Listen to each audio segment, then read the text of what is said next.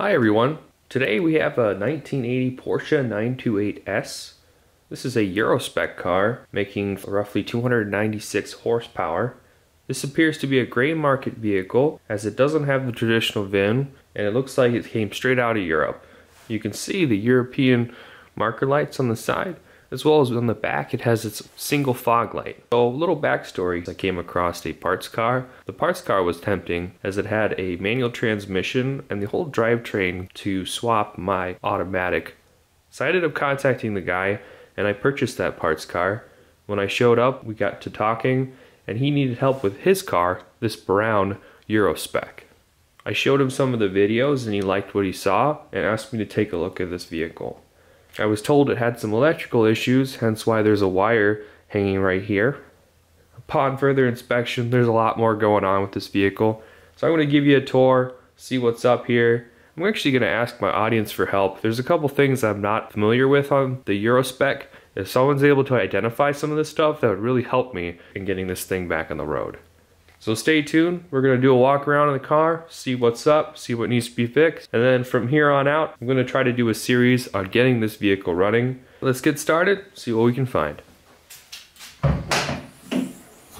Under the hood of this 1980 Porsche 928S Eurospec, I'm finding some interesting stuff.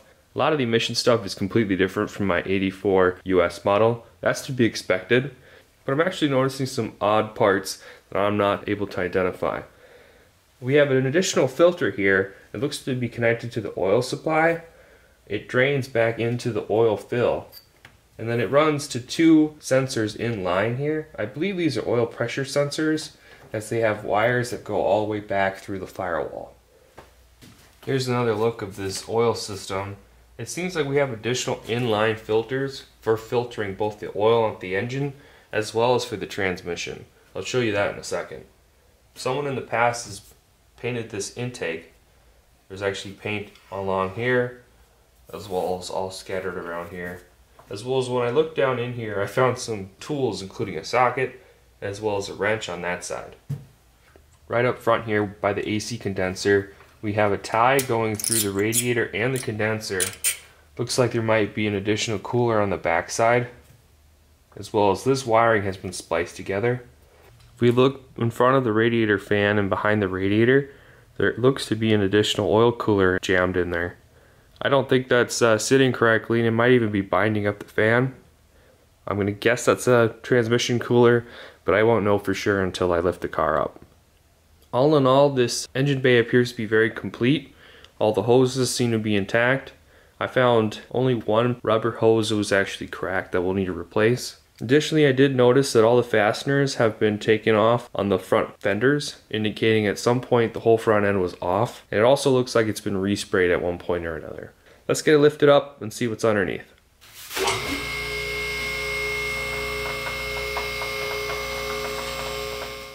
Right up front here, we see an additional filter. It looks like a hydraulic filter is what's written on it. Now those hoses seem to go every which way, if I had to guess, that's probably for the transmission cooler. What I do really like about this car is that it has the trim pieces still intact. Let's get under the car and see what's up. First impressions are pretty good. I see that there's a dent right here. That's not too bad. My Porsche actually had driven over something to the point that it probably tweaked the chassis a little bit and took out the AC condenser. So all in all, I'd say this one's in better shape than mine. Moving over here, we have a lot of wires everywhere. Most of the stuff seems to be running to the alternator. Some of those additional cooler hoses are routed around. Now this is interesting. There's actually a shock damper right here. Probably uh, some form of an active dampening motor mount. There's actually one on both sides here as well. There's another twist cap right here. Someone was definitely messing around with this alternator. It may be difficult to see from this angle. The oil pressure sensor is here and above it are some of those oil lines that we mentioned above. These probably route up top to those uh, filters that we talked about, confirming my suspicion that something is run in line with the oil system. On the passenger side, you can easily see that dampener. Again, that's very interesting to me because I didn't see that on my US spec. Looks like we have some additional wires going to the starter solenoid. This right here is the wire that has been taped up front. I'm really eager to know the story behind that and why someone decided to do so. We also have braided brake lines up front here. Somebody went through the trouble to swap all that out. Overall, I wouldn't say this front end looks too bad. Engine seems to be all put together. I'm just concerned about those additional wires. Doesn't even seem to leak that much either, which is promising. In the middle here, we have our European specific exhaust. This is all different from mine. Mine had a ginormous catalytic converter in the middle. I do appreciate that the frame rails are actually straight. It looks like someone took extra care not to jack it up right here. However, this side looks a little bit rougher. Moving toward the back here, nothing seems to be out of the ordinary. I do think that the transmission is slightly different than my automatic. I don't see the same reservoir. The bell housing also looks to be different, so it might be like a 3-speed as opposed to my 4-speed. Upon further inspection, it does appear that this has a fillable reservoir right here. We also have a big dent in the pan. That's a little concerning. We also have some different linkage here. I'm also seeing a band clamp and lots of extra welds here. I assume that this exhaust has been pieced together. I wouldn't say there's anything too odd on this end. We do have those stainless steel brake lines again. That's a nice upgrade. Here's a look at the passenger rear corner. This looks to be in decent shape as well. I'm surprised that I'm not seeing ripped boots on the CV axles. Mine were tore up pretty bad. Also seeing another stainless steel brake line. I'm really impressed by that. Rear coilovers are threaded.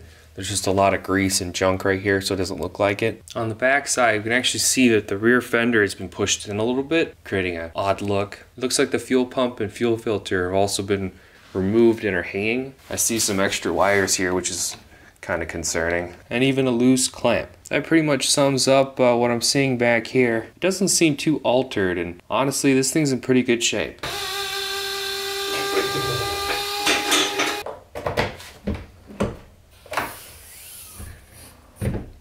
The paint is pretty faded towards the rear of the vehicle. This plastic bumper is pretty much gone. What I find interesting is there's no wiper motor or even hole in the carpet here. Yet this vehicle has a linkage right here for the wipers up here. This leads me to believe that the rear might have been swapped out for a different glass panel. What is pretty cool is it's got the uh, factory visors in the back here. Mine did not come with that. It's a bit of a mess back here, but somebody went ahead and put shag carpeting back here. Down here we have actually a new, brand new battery. However, the ground cable seems to be pretty beat up. I'm gonna have to put that on before I start doing my diagnostics. This spoiler does appear to be in fantastic shape. I don't see any additional holes popped in the back for any aftermarket units. That's a much better example in comparison to mine see some more overspray here. And I did see some paint runs up front. This roof looks to be in decent shape. A little rust, nothing major. Overall, there's not too much rust on this car to begin with. And that sunroof actually seals properly. Let's take a look on the inside.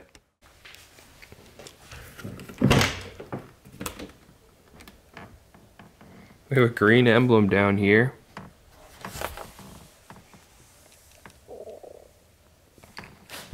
I immediately noticed that the dash is actually stitched. These older models used to have that. Toward the uh, middle production, they actually stopped doing that for cost saving reasons. That center dash is ripped apart quite a bit. Even those power window switches are ripped out. I know this car needs a lot of work, but overall the interior is in halfway decent shape actually. The carpets seem to be retaining their shape. This side's looking a little worse. That seat doesn't appear to be even bolted in. The wiring looks to be everywhere. If I zoom in here, there's actually an additional gauge cluster in the glove box. That's been wired into the fuse panel. There's also a bunch of running wires which way. This is going to be a big headache. I know there's a lot of glare there, but there's an actual center clock, the Euro style. I'm really jealous, I wish I had that on my car. Well that does it for this walk around of this 1980 Porsche 928S Euro spec. I do appreciate the owner's willingness for me to take video of this and share it with you guys. This is certainly going to be an interesting project and I hope I can document some of the success along the way while he gets this car back on the road. Again, I'm going to try to do some troubleshooting for him and figure out what's going on and why this car is not cranking. I'll try to make a couple troubleshooting videos on it and hopefully we can get it running here soon. Thanks everyone, take it easy.